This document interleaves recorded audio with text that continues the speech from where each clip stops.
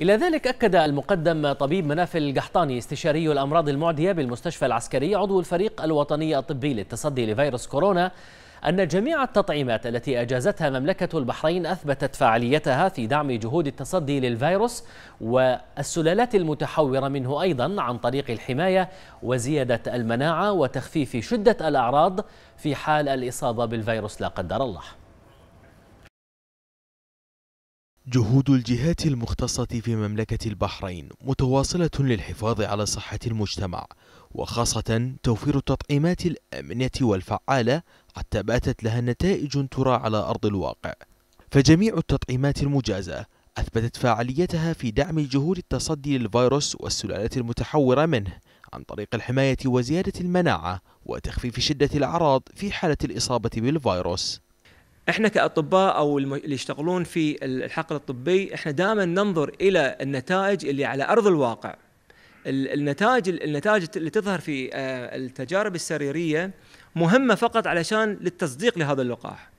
ولكن إحنا دائما نقول أثناء التجارب آه، السريرية هناك يعني آه، محيط معين زمن معين إجراءات معينة تصير تختلف تماما عن أرض الواقع، أرض الواقع هناك فيروسات متحورة، هناك غير متابعة للحالة، هناك عدم التزام، اختلاف الوقت، فإذا إحنا أثبتنا أن أرض الواقع إن النتائج هي أفضل من حتى نتائج آه، الدراسة في أثناء الدراسه السريريه فهذا يؤكد على مدى فعالية هذه اللقاحات وبالأرقام كذلك.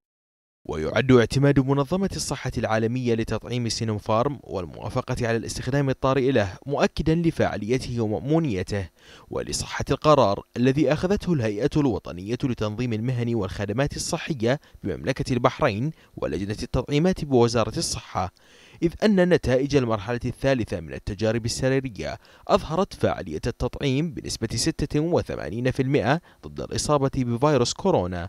لذلك كانت البحرين قد أجازت الاستخدام الطارئ لتطعيم سينوفارم بناء على النتائج الأولية لسلامته ووفقا للتجارب السريرية في المملكة. This afternoon, WHO أدرجت منظمة الصحة العالمية هذا المساء لقاح كوفيد 19 الصيني على لائحة الاستخدام الطارئ. وبهذا الإدراج يصبح اللقاح الصيني سادس لقاح ينال مصادقة المنظمة للأمان والفاعلية والجودة.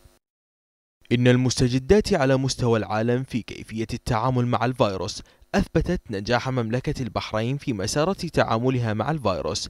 إذ نوه المقدم طبيب مناف القحطاني استشاري الأمراض المعدية بالمستشفى العسكري عضو الفريق الوطني للتصدي لفيروس كورونا كوفيد 19 نوه بأن البحرين من أوائل الدول التي وفرت التطعيم مجانا للمواطنين والمقيمين في المملكة وبلغت نسبة الحاصلين على الجرعة الأولى على الأقل من مختلف التطعيمات إلى حد الآن 70% من مجموع المؤهلين للحصول على التطعيم.